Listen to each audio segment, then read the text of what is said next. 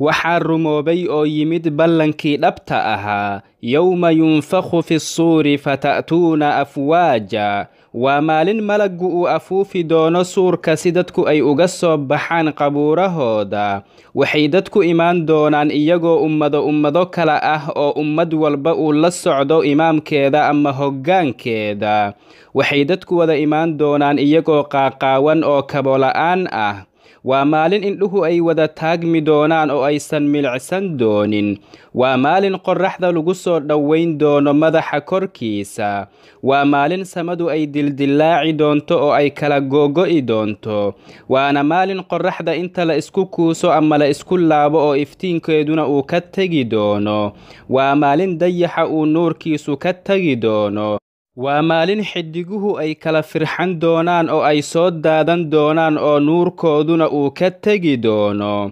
Markaas baa mujrimiinta jahannamo loo kaxayn doonaa iyagoo harraadan oo lugaynaya. Sidoo kale waxaa muttaqiinta iyagoo karaamaysan oo wufuud ah loo xashrin doonaa alle subxaanahu wa tacaalaa xaggiisa.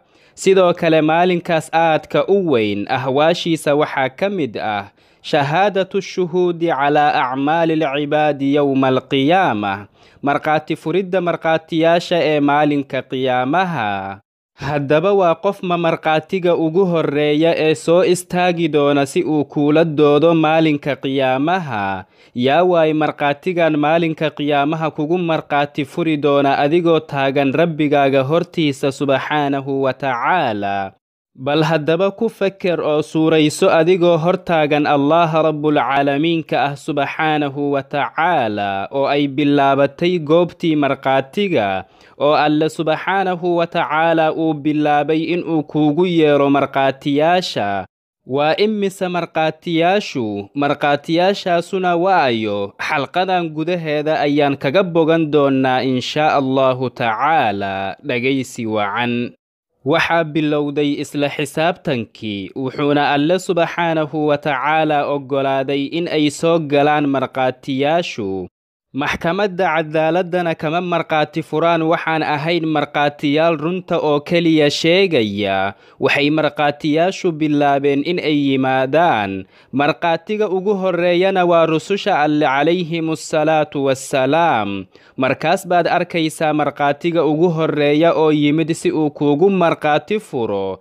Bal eeg oo suurayso markuu rasuulullaahi muxamed calayhi assalaatu wassalaam oo ah sayidu khalqillaah ahna qofka allaha rabbulcaalamiinka ah subxaanahu wa tacaala agtiisa oogu qiimaha badan uu alle subxaanahu wa tacaalaa hortiisa yimaado si uu kuugu markhaati furo wuxuu alle subxaanahu wa tacaalaa suuratulaxsaab dhexdeeda ku yidhi yaa ayuha annabiyu innaa arsalnaaka shaahidan wa mubashiran wanadiira nebi muxamedow waxaan ku soo dirnay si aad uga markhaati kacdo in aad ummaddaada gaarsiisay risaalada oo kuwooda mu'miniinta ahna aad naxariis iyo janno oogu bishaarayso oo kuwooda caasiyaasha ah ee xaqa beeniyeyna aad naarta ooga digto. Waxaad arki doontaa nebiyullaahi muxamed sala allahu calayhi wasalam isagoo hortaada taagan oo alle subxaanahu wa tacaalaa agtiisa kugula doodaya. Alle subxaanahu wa tacaalaa hortiisa ayuuna kuugu markhaati furi doonaa isagoo kuu doodi doona oo kuguna markhaati furi doona alle subxaanahu wa tacaalaa hortiisa adigu maxaad odhan doontaa maxaadse samayn doontaa maalinkaas? Kadibna waxaa soo gelaya markhaatiyaasha intooda kale. Xaaladda uu addoonku ku sugan yahay marka uu rabbigiisa hor taagan yahayna waa xaalad aad u weyn. Markaas buu wuxuu arkayaa ummaddii nebi muxamed calayhi salaatu wasalaam oo sidoo kale intay u imaadaan ku markhaati furaya waxay nebi muxamed ummaddiisa imaanayaan iyagoo addoonkan ku markhaati furaya. Mid walba wuxuu midka kale ku markhaati furayaa wixii uu soo hormarsaday. Wuxuu alle subxaanahu wa tacaalaa suuratulbaqara dhexdeeda ku yidhi litakuunuu shuhadaa'a cala annaasi wayakuuna alrasuulu calaykum shahiida. Waxaan idinka dhignay ummad la doortay oo dhexdhexaad ah si aad maalinka qiyaamaha ummadaha kale ugu markhaati furtaan in rusushoodu ay gaarsiiyeen risaalada rabbigooda subxaanahu wa tacaala sidoo kale wuxuu rasuulullaahi muxamed sala allahu calayhi wasalama maalinka qiyaamaha idinkugu markhaati kici doonaa in uu idin soo gaarsiiyey risaalada rabbigiisa waayo cidda ku markhaati furi doonta nebi muxamed sala allahu calayhi wasalama ummaddiisa. Yaa waaye qofka inagu markhaati furi doona yuu alle subxaanahu wa tacaalaa u dooran doonaa inuu ummaddan ku markhaati furo wuxuu alle subxaanahu wa tacaalaa suuratu nisaa dhexdeeda ku yidhi fakayfa idaa ji'naa min kulli ummatin bishahiidin wa ji'naa bika calaa haa'ulaa'i shahiida. Sidee buu dadka xaalkoodu noqon doonaa maalinka qiyaamaha markii uu alle subxaanahu wa tacaalaa keeno ummad walba rasuulkeeda si uu ooga markhaati kaco wixii ay soo sameeyeen oo sidoo kale nebi muxamedow adigana rabbigaaga uu ku keeno ama uu kula yimaado si aad uga markhaati kacdo ummaddaada in aad gaarsiisay risaalada rabbigaaga wuxuu alle subxaanahu wa tacaalaa inuu ummaddan ku markhaati furo u dooran doonaa sayida alawaliina waalaakhiriin imaama annaasi yowma addiin rasuulullaahi muxammadin sala allahu calayhi wasalam wuxuuna nebigu sala allahu calayhi wasalama ahaan jiray mid haddii aayaddan lagu dul akhriyo intuu qaariga joojiyo kadibna oyn jiray sala allahu calayhi wasalam maqaamkan aadka u weyn awgiisa. Waxay sala allahu calayhi wasalama indhihiisu ka ilmayn jireen maqaamkan weyninkiisa awgii. Kadibna maxaa xiga aan ku sii soconno aayadda xigta وحو رسولك صلى الله عليه وسلم قارق جوجيي كهر انت اوسن اخرين وحو يري الله سبحانه وتعالى يومئذ يود الذين كفروا وعصوا الرسول لو تسوى بهم الأرض ولا يكتمون الله حديثا. Waxay maalinkaas kuwa alle subxaanahu wa tacaalaa ku gaaloobay ee rasuulkiisa khilaafay ee ateeci waayay ku tamaninayaan inuu alle subxaanahu wa tacaalaa dhulka la simi lahaa oo uu iyaga iyo dhulka isku mid ka dhigi lahaa oo ay ciidda noqon lahaayeen si aanan loo soo saarin. Mana awoodi doonaan in ay alle subxaanahu wa tacaalaa ka qariyaan hal shay oo qalbigooda ku jira alle ayaana afka ka sharootayn doona oo ka aamusiin doona. Markaas baa waxaa wixii ay soo camalfaleen ku markhaati furi doona jawaarixdooda ama xubnaha jirkooda. Markaas buu mid walba oo kaafir ah wuxuu odhan doonaa yaa laytanii kuntu turaaba shallaytadaydii haddaan ciid iska noqon lahaa markaas baa waxaa sii socon doona markhaatiyaasha wufuuddooda kuwaasoo alle subxaanahu wa tacaalaa u imaanaya adigoo weli taagan alle subxaanahu wa tacaalaa hortiisa. Yaa waaye cidda kale ee kugu markhaati furi doonta kuwan gadaashooda. Markaas baad waxaad arkaysaa malaa'igta alle subxaanahu wa tacaalaa iyagoo horay u soo socda si ay iyaguna kuugu markhaati furaan malaa'ikatu raxmaani jalla fii culaah marnaba kuma caasiyaan wixii uu alle subxaanahu wa tacaalaa faray bal waa kuwo ku tartamaya in ay sameeyaan wixii uu alle subxaanahu wa tacaalaa ku amray malaa'igta ayaa horay soo maraysa oo imaanaysa si ay u markhaati furaan waxaana markhaati kacaya malaa'igta alle ee karaamada badan ee kaatibiinta ah alladiina yaclamuuna maa tafcaluun kuwaasoo garanaya oo korjoogto ka ahaa wax walba oo aan soo camalfalnay wamaa hum cannaa bighaa'ibiin waxayna ahaayeen kuwo aanan marnaba inaga maqnaanin. Yarawnanaa min xaysu laa naraahum. Waxay inaga arkayeen meel innagu aynaan ka arkaynin. Waxayna diiwaangelinayeen dhammaan acmaasheenna waa kuwo lagu kalsoon yahay oo xufaad ah. Waxay u qoraan sida runta ah oo keliya iyagoon waxbana ku siyaadinin oo waxbana aanan ka dhimin. Wuxuu alle subxaanahu wa tacaalaa qur'aankiisa kariimka ah fii suurati alinfitaar dhexdeeda ku yidhi wa inna calaykum laxaafidiin kiraaman kaatibiina yaclamuuna maa tafcaluun kadibna waxaa kugu markhaati kacaya dhulka. Xitaa jamaadaadku waa ay markhaati kici doonaan maalinka qiyaamaha. Wuxuu alle subxaanahu wa tacaalaa suuratu zalzala dhexdeeda ku yidhi bismi illaahi araxmaani araxiim idaa zulzilat alardu zilzaalaha wa akhrajat alardu ahqaalaha wa qaala alinsaanu maa laha يومئذ تحدث أخبارها بأن ربك أوحى لها. إذا زلزلت الأرض زلزالها مركو دلك وذا قريرو أو آد الرحمو وأخرجت الأرض أثقالها. Oo uu iska soo saaro waxa gudihiisa ku jira oo maydad iyo kaydadba leh. Wa qaala alinsaanu maa laha? Oo dadku iyagoo argagaxsan ay isweydiiyaan dhulkii maxaa ku dhacay? Yowma-idin tuxadisu akhbaaraha. Maalinka qiyaamaha wuxuu dhulku ka warrami doonaa wixii dushiisa lagu sameeyey oo khayr iyo sharba leh. Bianna rabbaka awxaa laha maxaa yeelay alle ayaa ku amray subxaanahu wa tacaalaa inuu ka warramo wixii lagu sameeyey dushiisa. Maalaha dhulkii maxaa ku dhacay maalinka qiyaamaha ayaad ogaan doontaa wixii ku dhacay markuu gilgisho. Maalinka qiyaamaha ayaad ogaan doontaa wixii ku dhacay markuu iska soo saaro culayskii ku jiray. Maalinka qiyaamaha ayaad ogaan doontaa wixii ku dhacay markuu alle subxaanahu wa tacaalaa hortiisa ka hadlo maalin buu rasuulkii alle sala allahu calayhi wasalama wuxuu akhriyey aayaddan aan hadda akhrinayno oo ah yowma-idin tuxadisu akhbaaraha. Markaas buu sala allahu calayhi wasalama intuu joogsaday wuxuu yidhi atadruuna maa akhbaaruha ma garanaysiin waxa uu yahay akhbaarkeeda wuxuu yidhi akhbaarkiisu waa inuu maalinka qiyaamaha naf walba wixii ay dushiisa ku samaysay oo khayr iyo sharba leh uu uga markhaati kaco. Wuxuu dhulku maalinka qiyaamaha odhanayaa dushayda ayaa sidaas iyo sidaas ku samaysay maalinkii sidaas iyo sidaas ahaa.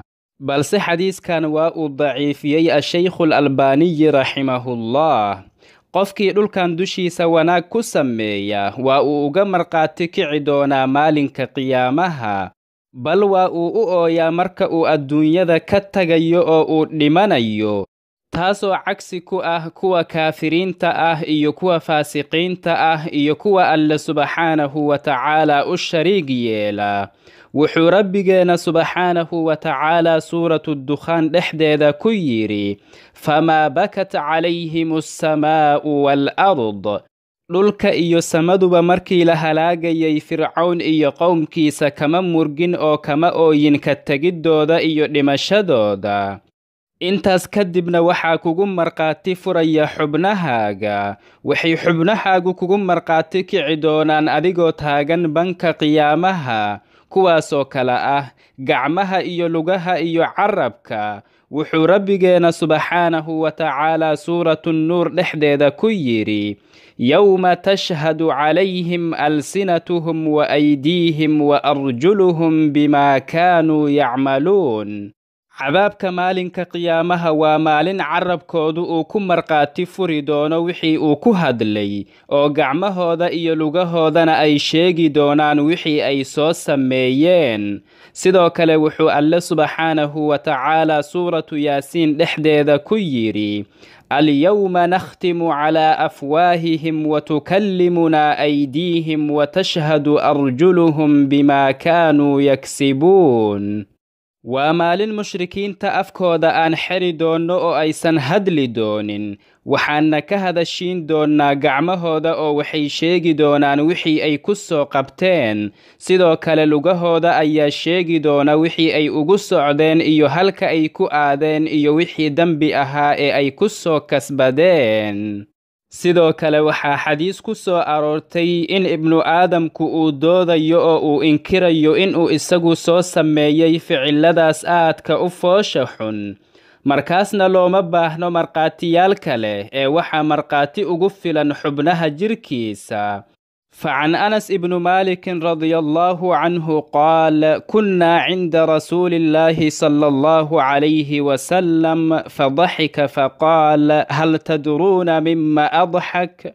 قلنا الله ورسوله أعلم قال من مخاطبة العبد ربه يقول يا رب ألم تجرني من الظلم قال يقول بلى قال فإني لا أجيز على نفسي إلا شاهدا مني.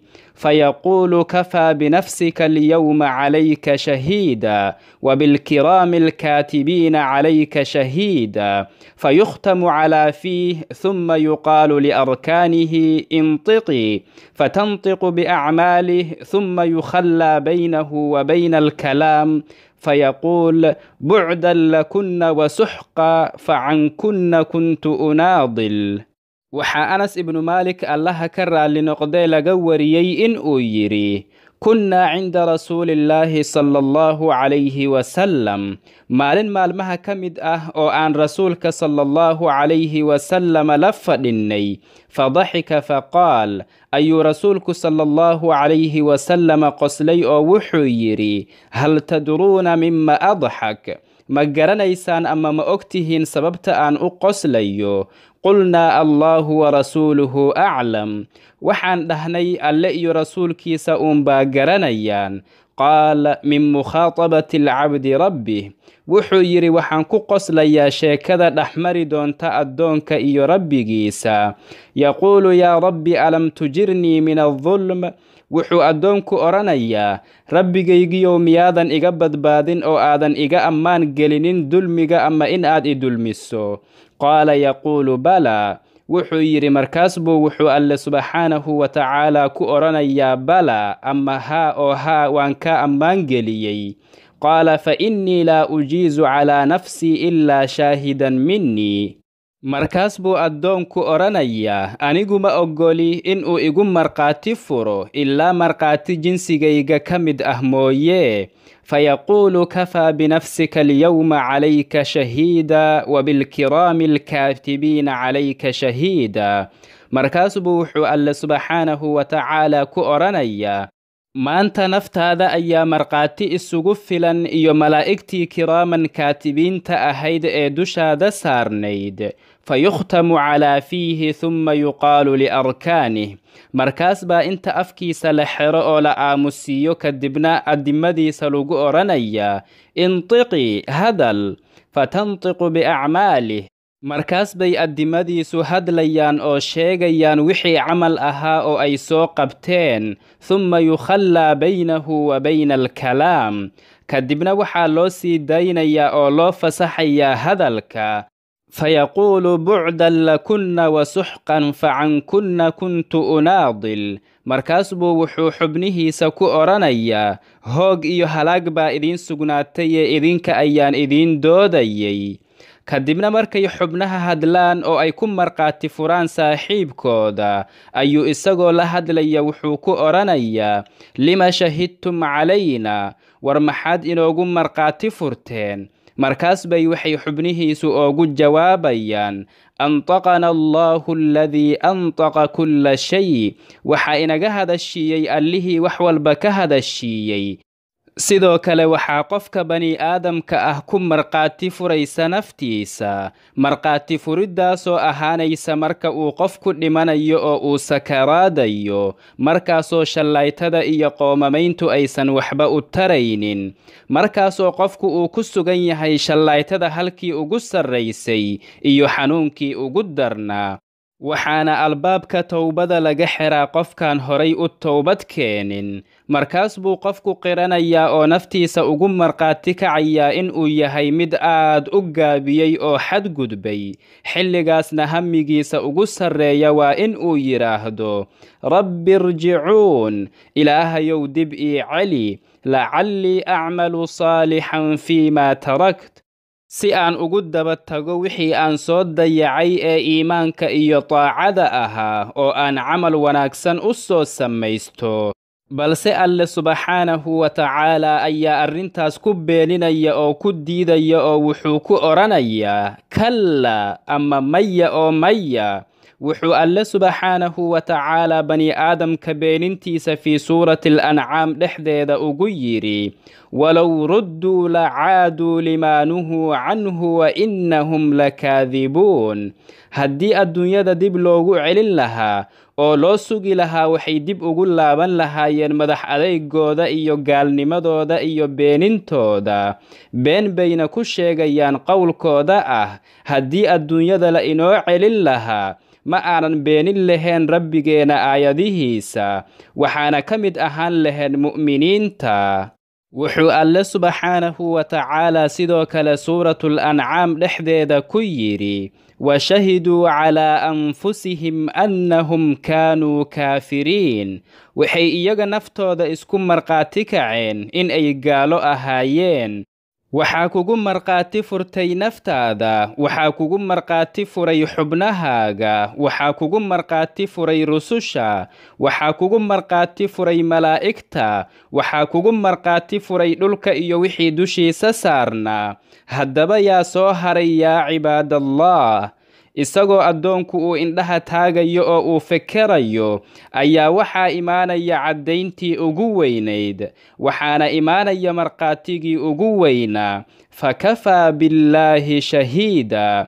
Waxaa imaanaysa markhaati furidda allihii rabbulcaalamiinka ahaa subxaanahu jalla fii culaah kaasoo taalacanaya oo arkaya wax walba oo inaga qarsoon kaasoo og wixii aan soo hormarsannay iyo wixii aan dib dhigannayba kaasoo aysan ka qarsoonayn laabiyaalka waxa ku jira kaasoo og wax walba oo sir ah oo ay u muuqanayaan wax walba oo damiirka ku jira rabbigaaga ayaa imaanaya subxaanahu wa tacaalaa si ay u bilaabato markhaati furidda alle ee rabbulcaalamiinka ah subxaanahu wa tacaalaa wuxuu rabbigeena subxaanahu wa tacaalaa suuratul ancaam dhexdeeda ku yidhi qul ayu shayin akbaru shahaadah qul illaahu shahiidun baynii wa baynakum nebi muxamedow waxaad kuwaan mushrikiinta ah ku tidhaahdaa maxaa ugu weyn oo caddayn iyo markhaati ka noqonaya in aan ka run sheegayo waxaan idiin sheegayo oo ah in aan rasuul alle ahay? Waxaad ku tidhaahdaa alle ayaa inoo kala markhaati ah aniga iyo idinka dhexdeena. Maxaa yeelay isaga ayaa og waxa aan idinla imid iyo waxa aad idinku igu leedihiin markhaatigee baa ka weyn markhaati furidda uu alle subxaanahu wa tacaalaa ku markhaati furayo addoonkiisa iyo addoontiisa. Qul kafaa billaahi shahiida. Alle ayaa markhaati ugu filan waman asdaqu min allaahi qiila ma waxaa jira cid alle subxaanahu wa tacaalaa ka run sheegis badan. waman asdaqu min allaahi xadiida ma jirto cid alle subxaanahu wa tacaalaa ka run sheegis badan balse wuxuu alle subxaanahu wa tacaalaa jecel yahay in uu u cudurdaaro khalqigiisa iyo in xujada lagu oogo. Sidaas darteed ayuu alle subxaanahu wa tacaalaa u soo saaraa markhaatiyaal kale oo dheeraad ah. Hada wallahu tacaala aclaa wa aclam wa sala allahu wasalama wabaaraka calaa sayidina muxammadin wacalaa aalihi wa saxbihi ajmaciin.